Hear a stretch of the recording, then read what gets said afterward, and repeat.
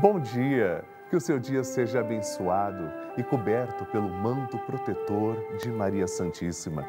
Estamos começando a nossa novena Maria Passa na Frente, um momento tão especial aqui na Rede Vida de Televisão, onde nós nos encontramos todos os dias para apresentar à Mãe de Deus e nossa as preces que trazemos em nossos corações. E o tema de hoje é a cura das enfermidades. Meus irmãos, tantas vezes nós ficamos doentes, mas ficar doente não é somente do corpo.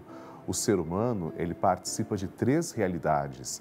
Ele pode adoecer corporeamente, ou seja, do corpo, sim, mas também pode adoecer mentalmente, como por exemplo, a depressão é um mal, e também nós podemos ficar doentes espiritualmente. Hoje nós vamos rezar pela saúde como um todo, para que Deus nos cure por completo. E eu quero ouvir muito você, as suas aflições, os seus anseios, tudo que você tem aqui no seu coração, conta para mim. Eu vou rezar por você. Envie as suas intenções pelo nosso WhatsApp. E no segundo dia da nossa novena, nós vamos pedir: Maria, passa à frente da minha saúde. Por essa razão, eu vou aqui ao lado da imagem de Nossa Mãe. Ela segura a mão de Jesus e oferece a sua própria mão para nós. Nós pegamos na mão da imagem de Nossa Senhora e começamos rezando. Em nome do Pai e do Filho e do Espírito Santo. Amém. Maria, passa à frente da minha saúde. Maria, passa à frente de cada célula deste corpo que é templo do Espírito Santo. Maria passa à frente de cada gota de sangue que circula em minhas veias. Maria passa à frente de cada batida do meu coração. Maria passa à frente para um bom funcionamento do meu metabolismo. Maria passa à frente para que meus ossos e minha musculatura ganhem o sopro da vida. Maria passa à frente para que não caia um só fio de cabelo da minha cabeça sem que seja da vontade de Deus. Maria passa à frente para que nada e ninguém me fure, me fira, me quebre, me machuque. Maria passa à frente para que eu seja liberto de todos os males, perigos e maldades. Maria passa à frente quando as aflições baterem em minha porta. Maria passa à frente quando a angústia invadir a minha alma Maria passa à frente quando as tentações quiserem me derrubar. Maria passa à frente quando o desespero quiser me ganhar. Maria passa à frente quando, apesar dos meus esforços, eu voltar à vida velha.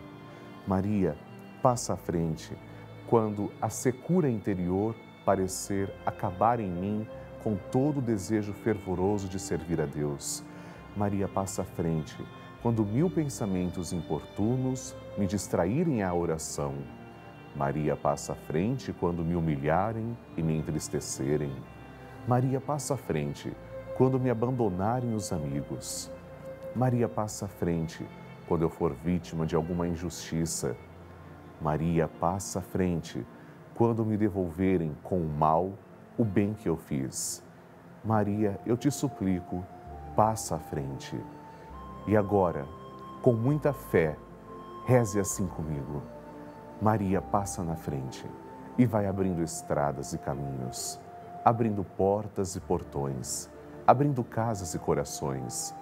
A mãe vai na frente e os filhos protegidos seguem seus passos. Maria passa na frente e resolve tudo aquilo que somos incapazes de resolver. Mãe, cuida de tudo que não está ao nosso alcance Tu tens poder para isso. Mãe, vai acalmando, serenando e tranquilizando os corações. Termina com o ódio, os rancores, as mágoas e as maldições. Tira teus filhos da perdição. Maria, tu és porta e também porteira, sendo nossa mãe. Vai abrindo o coração das pessoas e as portas pelo caminho. Maria, eu te peço, passa na frente Vai conduzindo, ajudando e curando os filhos que precisam de ti. Ninguém foi decepcionado por ti depois de ter te invocado e pedido a tua proteção. Só tu, com o poder de teu filho, podes resolver as coisas difíceis e impossíveis. Amém. E depois de termos rezados com tanta fé, meus irmãos, nós vamos ouvir o que Jesus tem para nos falar. A cada dia, uma mensagem especial. Vamos agora à palavra de Deus.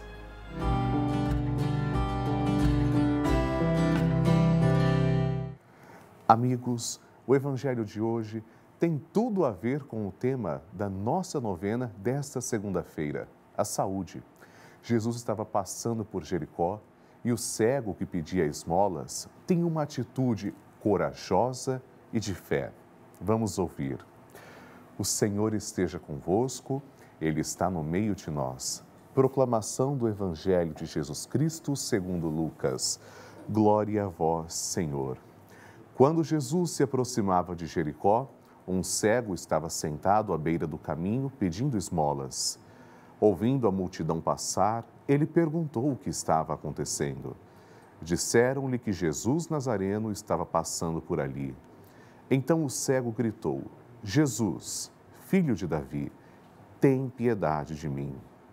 As pessoas que iam na frente mandavam que ele ficasse calado, mas ele gritava mais ainda: Filho de Davi, tem piedade de mim. Jesus parou e mandou que levassem o cego até ele. Quando o cego chegou perto, Jesus perguntou: O que queres que eu faça por ti? O cego respondeu: Senhor, eu quero enxergar de novo. Jesus disse: Enxerga, pois, de novo. A tua fé te salvou. No mesmo instante, o cego começou a ver de novo e seguia Jesus, glorificando a Deus. Vendo isso, todo o povo deu louvores a Deus. Palavra da salvação, glória a vós, Senhor. Meus amigos, nós pedimos hoje o dom da cura, cura física, mental e espiritual. Mas o que o Evangelho ensina para nós? Meus irmãos, a cegueira não existe apenas no sentido literal da palavra. Quando pessoas são cegas a ponto de não reconhecerem que insistem no mesmo erro. Quanto isso acontece, meus amigos? Quando essas pessoas querem permanecer na mesma situação, insistindo, jamais mudando uma atitude que precisa ser modificada, ao ponto até de serem teimosas. O cego do Evangelho que Jesus cura é exemplo para nós. Ele tinha fé em Cristo, ele gritou. Pessoas mandavam que ele se calasse. E ele, ele gritava de novo e pede a misericórdia a Jesus. Nosso Senhor, cheio de amor, cura o cego e tira ele da condição de pedinte de esmola. Tudo acontece por dois motivos: porque ele teve fé e clamou ao Senhor. Que possamos aprender a ter mais fé e confiar naquilo que pedimos a Jesus.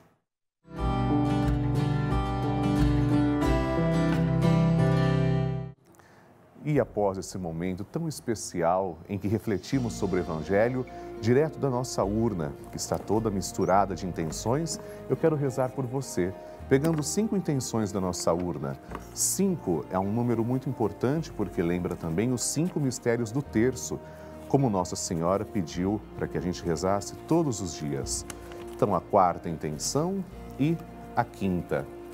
E você pode participar também Vamos partilhar então a primeira intenção da nossa urna. Sibila Jaques, que está em Alegrete, Rio Grande do Sul, pede pela irmã Zeni e pela sua saúde. Estamos rezando, Sibila. Próxima intenção é da Maria da Siana Ferreira, daqui de São Paulo, capital, pede pela família. Vamos apresentar a sua família também, Maria.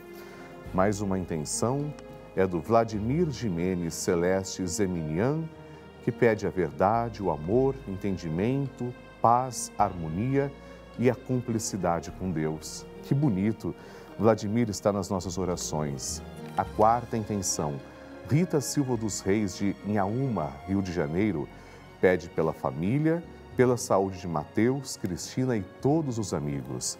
E, finalmente, a quinta intenção é da Augusta Quitéria, também daqui de São Paulo, capital, que pede pela saúde de Larissa Macedo. Essas intenções com carinho foram apresentadas. Participe você também. Envie a sua intenção para nossa urna através do WhatsApp ou também das redes sociais da Rede Vida. Nós fazemos questão de sempre rezar por você na nossa programação, com o apoio do projeto Juntos pela Vida, que nos ajuda a levar uma programação melhor a cada dia para você. Meus amigos, o Magnificat é um cântico que é entoado ou recitado frequentemente na liturgia da Santa Igreja. E ele vem direto do Evangelho, segundo Lucas, onde ele é recitado pela Virgem Maria quando ela visita sua prima Isabel. Depois de Maria saudar a sua prima, que está grávida com aquele que será conhecido como São João Batista, a criança se mexe dentro do útero de Isabel. Ela louva Maria por sua fé e Nossa Senhora entoa o Magnificat como resposta. Por isso, sabendo que o Magnificat é a oração por excelência de Nossa Senhora, nós vamos rezar agora pela sua intenção, por todas as que lemos também e por tudo o que precisa agora ser resolvido. Rezemos juntos. A minha alma engrandece ao Senhor e se alegrou meu espírito em Deus, meu Salvador, pois ele viu a pequenez de sua serva. Desde agora as gerações hão de chamar-me de bendita. O poderoso fez por mim maravilhas e santo é o seu nome. Seu amor de geração em geração chega a todos que o respeitam. Demonstrou o poder de seu braço, dispersou os orgulhosos, derrubou os poderosos de seus tronos e os humildes exaltou. De bem saciou os famintos e despediu sem nada os ricos acolheu Israel, seu servidor, fiel ao seu amor, como havia prometido aos nossos pais, em favor de Abraão e de seus filhos para sempre. Glória ao Pai, ao Filho e ao Espírito Santo, como era no princípio, agora e sempre. Amém. Depois de termos rezado esta oração de Nossa Senhora, eu vou conceder para você, para sua família, a bênção para que o seu dia já comece repleto de paz e de alegria. O Senhor esteja convosco, Ele está no meio de nós. Por intercessão da bem-aventurada Virgem Maria, Santa Mãe de Deus e nossa, desça sobre você, sua família, livrando de todos os perigos e protegendo de todos os males, a bênção e proteção de Deus Todo-Poderoso, em nome do Pai e do Filho e do Espírito Santo. Amém.